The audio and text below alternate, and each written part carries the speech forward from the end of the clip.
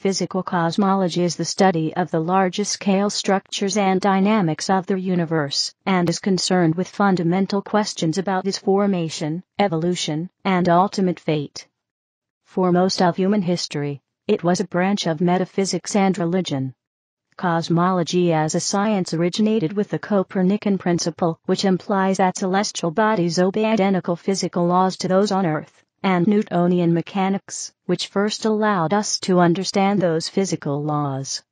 Physical cosmology, as it is now understood, began with the development in 1915 of Albert Einstein's general theory of relativity, followed by major observational discoveries. In the 1920s, First, Edwin Hubble discovered that the universe contains a huge number of external galaxies beyond our own Milky Way. Then, work by Vesto Slipher and others showed that the universe is expanding. These advances made it possible to speculate about the origin of the universe and allowed the establishment of the Big Bang Theory by Father Georges Lemaître as the leading cosmological model. A few researchers still advocate a handful of alternative cosmologies. However, most cosmologists agree that the Big Bang Theory best explains observations. Dramatic advances in observational cosmology since the 1990s, including the cosmic microwave background, distant supernovae, and galaxy redshift surveys, have led to the development of a standard model of cosmology this model requires the universe to contain large amounts of dark matter and dark energy, whose nature is currently not well understood, but the model gives detailed predictions which are in excellent agreement with many diverse observations. Cosmology draws heavily on the work of many disparate areas of research in theoretical and applied physics. Areas relevant to cosmology include particle physics experiments and theory, theoretical and observational astrophysics, general relativity, quantum mechanics, and plasma physics. History of study Modern cosmology developed along tandem tracks of theory and observation. In 1916, Albert Einstein published his theory of general relativity, which provided a unified description of gravity as a geometric property of space and time. At the time, Einstein believed in a static universe, but found that his original formulation of the theory did not permit it. This is because masses distributed throughout the universe gravitationally attract and move toward each other over time. However, he realized that his equations permitted the introduction of a constant term which could counteract the attractive force of gravity on the cosmic scale. Einstein published his first paper on relativistic cosmology in 1917, in which he added this cosmological constant to his field equations in order to force them to model a static universe. However, this so-called Einstein model is unstable to small perturbations it will eventually start to expand or contract. The Einstein model describes a static universe. Space is finite and unbounded, analogous to the surface of a sphere, which has a finite area, but no edges. It was later realized that Einstein's model was just one of a larger set of possibilities, all of which were consistent with general relativity and the cosmological principle. The cosmological solutions of general relativity were found by Alexander Friedmann in the early 1920s. His equations describe the Friedmann-Lemaitre-Robertson-Walker universe, which may expand or contract and whose geometry may be open, flat, or closed. History of the universe. Gravitational waves are hypothesized to arise from cosmic inflation, a faster than light expansion just after the Big Bang, the 17th of March, 2014. In the 1910s, Vesto Slipher and later Carl Wilhelm Wirtz interpreted the redshift of spiral nebulae as a Doppler shift that indicated they were receding from Earth. However, it is difficult to determine the distance to astronomical objects. One way is to compare the physical size of an object to its angular size, but a physical size must be assumed to do this.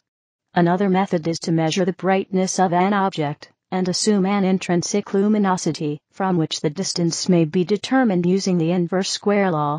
Due to the difficulty of using these methods, they did not realize that the nebulae were actually galaxies outside our own Milky Way, nor did they speculate about the cosmological implications.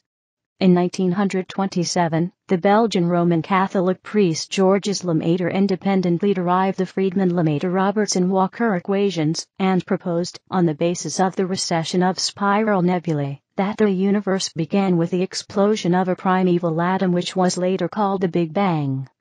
In 1929, Edwin Hubble provided an observational basis for Lemaître's theory. Hubble showed that the spiral nebulae were galaxies by determining their distances using measurements of the brightness of Cepheid variable stars.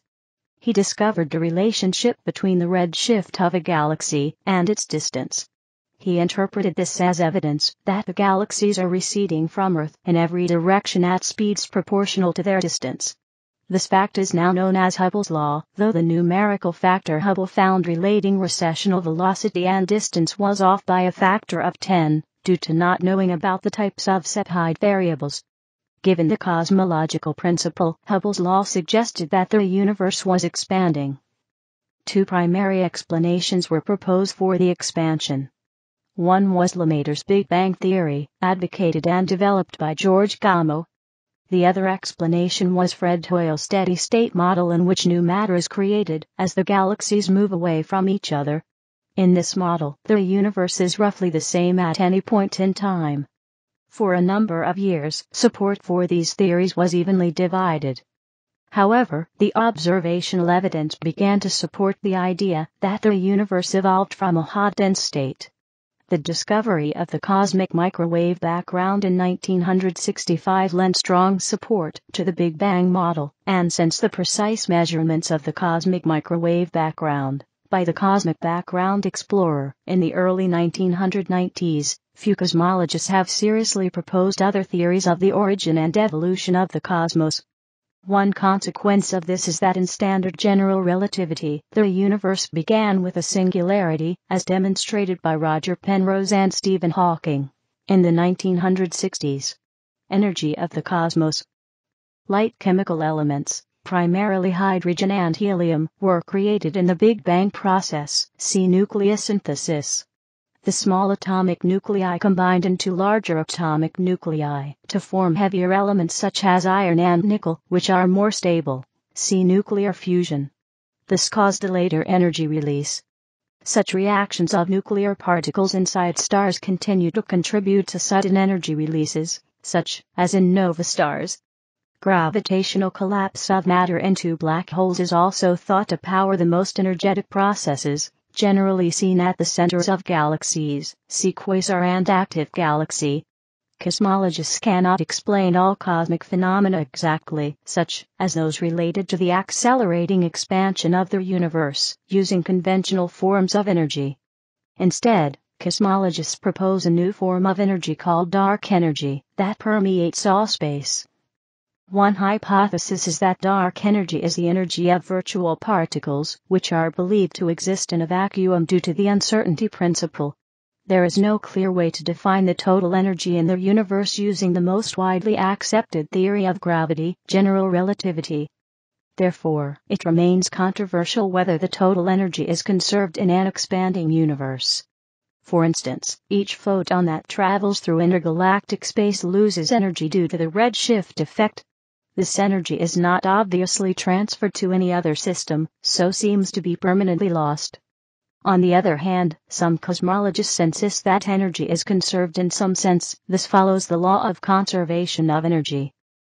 Thermodynamics of the universe is a field of study that explores which form of energy dominates the cosmos, relativistic particles which are referred to as radiation, or non-relativistic particles referred to as matter. Relativistic particles are particles whose rest mass zero or negligible compared to their kinetic energy, and so move at the speed of light or very close to it. Non-relativistic particles have much higher rest mass than their energy, and so move much slower than the speed of light. As the universe expands, both matter and radiation in it become diluted. However, the universe also cools down, meaning that the average energy per particle gets smaller, Therefore radiation becomes weaker and dilutes faster Y than matter.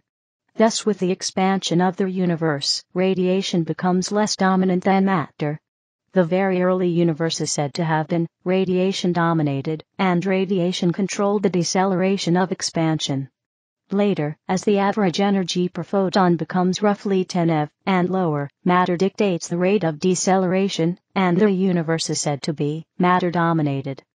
The intermediate case is not treated well analytically. As the expansion of the universe continues, matter dilutes even further, and the cosmological constant becomes dominant, leading to an acceleration in the universe's expansion. History of the Universe The history of the universe is a central issue in cosmology. The history of the universe is divided into different periods called epochs, according to the dominant forces and processes in each period. The standard cosmological model is known as the lambda CDM model. Equations of motion the equations of motion governing the universe as a whole are derived from general relativity with a small, positive cosmological constant. The solution is an expanding universe. Due to this expansion, the radiation and matter in the universe cool down and become diluted. At first, the expansion is slowed down by gravitation attracting the radiation and matter in the universe. However, as these become diluted, the cosmological constant becomes more dominant, and the expansion of the universe starts to accelerate rather than decelerate. In our universe this happened billions of years ago. Particle physics and cosmology. Particle physics is important to the behavior of the early universe because the early universe was so hot that the average energy density was very high. Because of this, scattering processes and decay of unstable particles are important in cosmology. As a rule of thumb, a scattering or a decay process is cosmologically important in a certain cosmological epoch if the timescale describing that process is smaller than or comparable to the timescale of the expansion of the universe. The timescale that describes the expansion of the universe is with being the Hubble constant, which itself actually varies with time. The expansion timescale is roughly equal to the age of the universe at that time. Timeline of the Big Bang Observations suggest that the universe began around 13.8 billion years ago. Since then, the evolution of the universe has passed through three phases. The very early universe, which is still poorly understood, was the split second in which the universe was so hot that particles had energies higher than those currently accessible in particle accelerators on Earth. Therefore, while the basic features of this epoch have been worked out in the Big Bang Theory, the details are largely based on educated guesses. Following this, in the early universe, the evolution of the universe proceeded according to known high energy physics, this is when the first protons, electrons, and neutrons formed, then nuclei, and finally atoms. With the formation of neutral hydrogen, the cosmic microwave background was emitted. Finally, the epoch of structure formation began, when matter started to aggregate into the first stars and quasars, and ultimately galaxies, clusters of galaxies and superclusters formed, the future of the universe is not yet firmly known, but according to the CDM model it will continue expanding forever. Areas of study Below, some of the most active areas of inquiry in cosmology are described, in roughly chronological order. This does not include all of the Big Bang cosmology, which is presented in timeline of the Big Bang. Very early universe. The early, hot universe appears to be well explained by the Big Bang, from roughly 1033 seconds onwards. But there are several problems. One is that there is no compelling reason, using current particle physics, for the universe to be flat, homogeneous, and isotropic. See the cosmological principle. Moreover, grand unified theories of particle physics suggest that there should be magnetic monopoles in the universe, which have not been found. These problems are resolved by a brief period of cosmic inflation, which drives the universe to flatness, smooths out anisotropies and inhomogeneities to the observed level, and exponentially dilutes the monopoles. The physical model behind cosmic inflation is extremely simple, but it has not yet been confirmed by particle physics, and there are difficult problems reconciling inflation and quantum field theory. Some cosmologists think that string theory and brane cosmology will provide an alternative to inflation. Another major problem in cosmology is what caused the universe to contain far more matter than antimatter. Cosmologists can observationally deduce that the universe is not split into regions of matter and antimatter.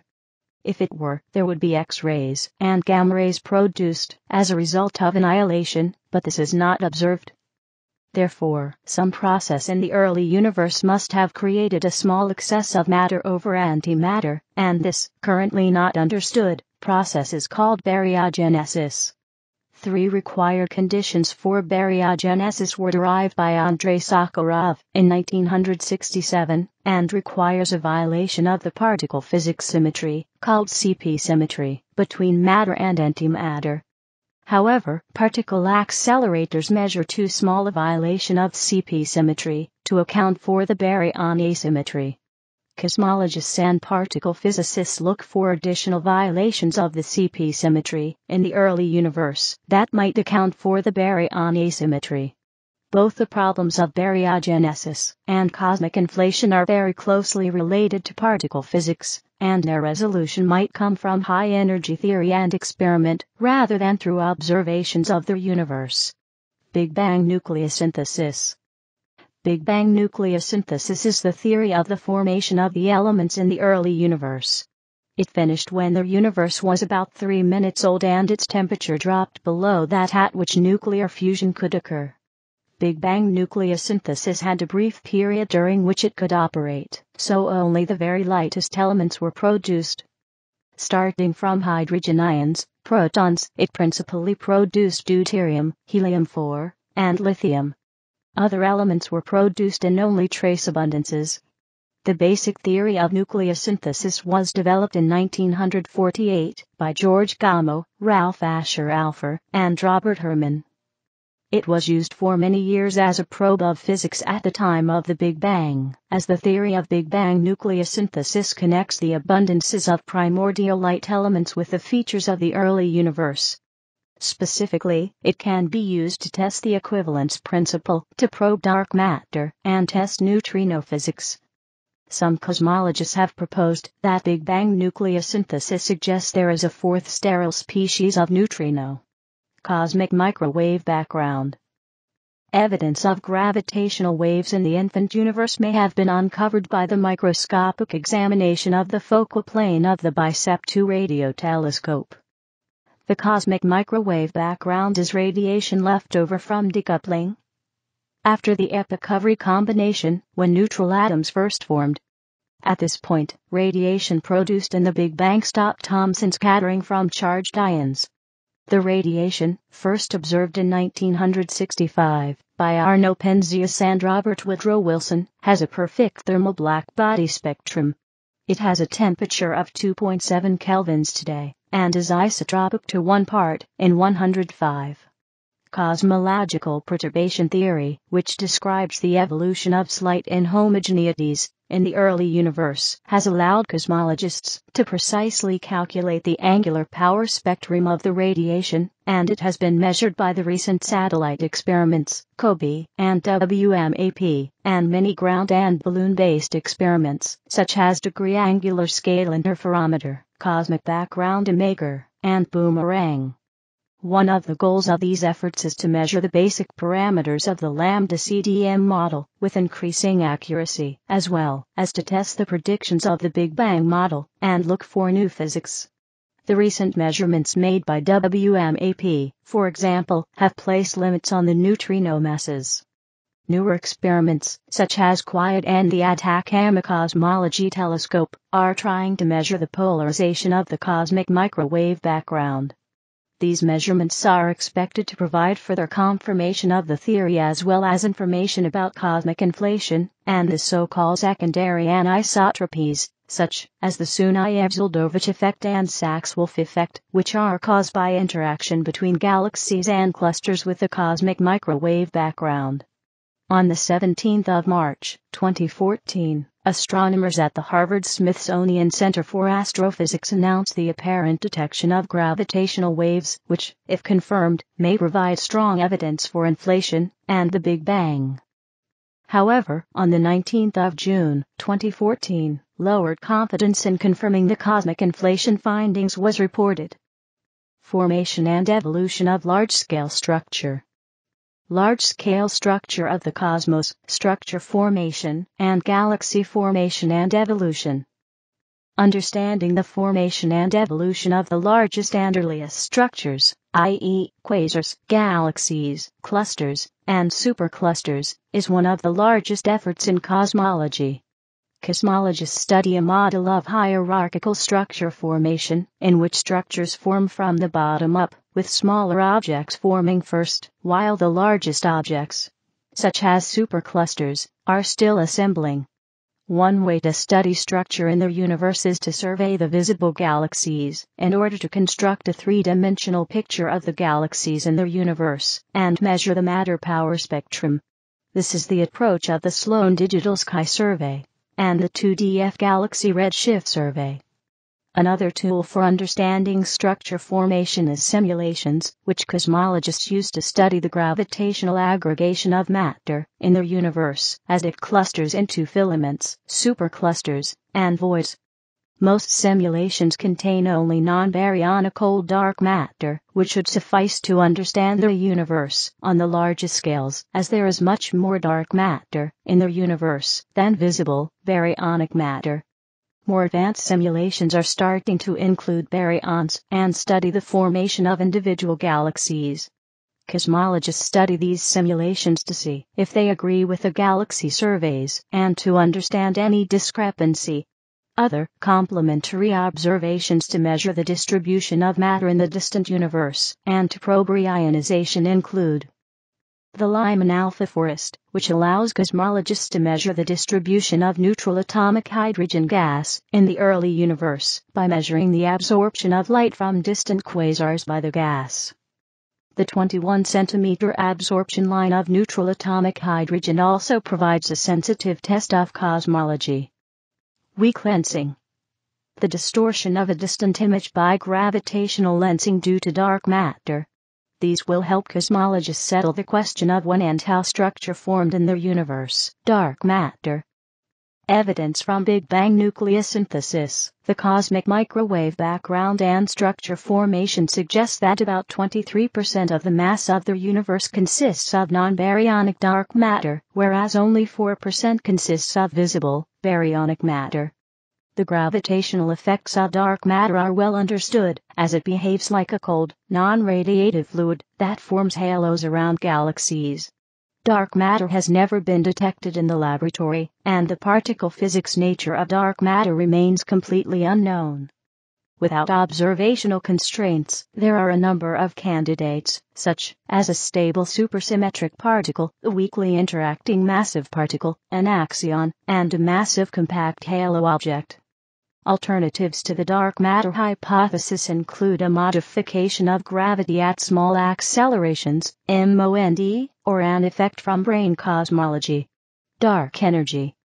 If the universe is flat, there must be an additional component making up 73%, in addition to the 23% dark matter and 4% baryons of the energy density of the universe.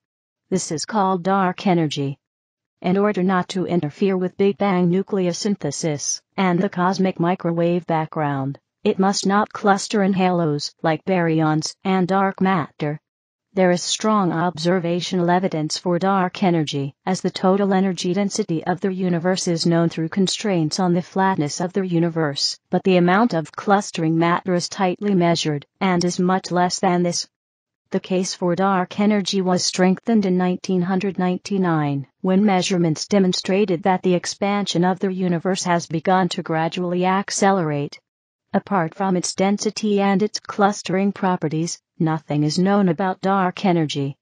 Quantum field theory predicts a cosmological constant, CC, much like dark energy, but 120 orders of magnitude larger than that observed. Steven Weinberg and a number of string theorists, see string landscape, have invoked the weak anthropic principle, i.e. the reason that physicists observe a universe with such a small cosmological constant is that no physicists or any life could exist in a universe with a larger cosmological constant.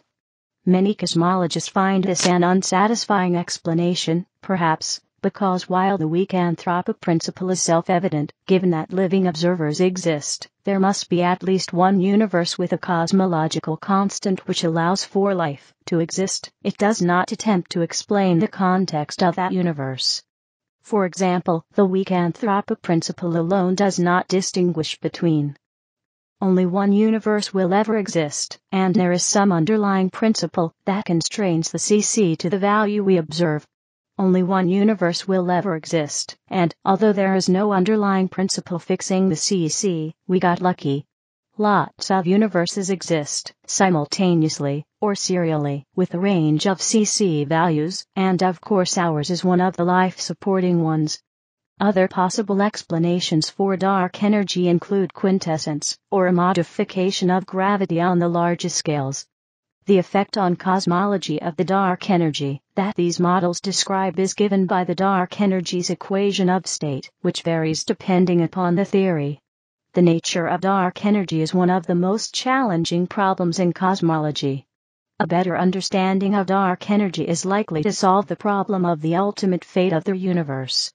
In the current cosmological epoch, the accelerated expansion due to dark energy is preventing structures larger than superclusters from forming. It is not known whether the acceleration will continue indefinitely, perhaps even increasing until a big rip, or whether it will eventually reverse. Other areas of inquiry. Cosmologists also study whether primordial black holes were formed in our universe, and what happened to them the GZK cutoff for high-energy cosmic rays, and whether it signals a failure of special relativity at high energies. The equivalence principle, whether or not Einstein's general theory of relativity is the correct theory of gravitation, and if the fundamental laws of physics are the same everywhere in the universe.